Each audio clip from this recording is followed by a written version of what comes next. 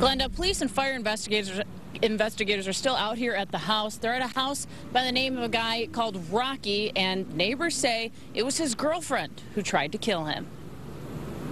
You probably didn't know it was Rocky's home that was burning earlier today in Southfield near 10 Mile. From nine mile and Southfield Road, I could see the smoke up in the uh, sky. But one look, and you would at least know that it was Rocky's truck in the driveway. Kind of shocking to me. yeah. The once black pickup, now a splatter of silver and orange. Neighbors say the paint job, courtesy of his angry girlfriend, who wrote the gay slurs early Sunday morning. Crazy. That's all I can say is crazy.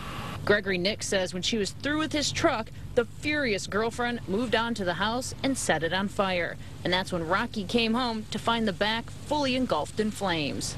Nick says the police have been out to the home at least three times in the past couple of days because of crazy fights between the couple. Don't know why they was arguing.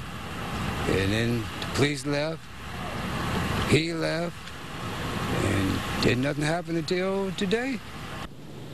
Now, police would only confirm that this is a domestic dispute and the person who set the fire is in custody. Live in Southfield, Julie Banovic, Channel 7, Action News.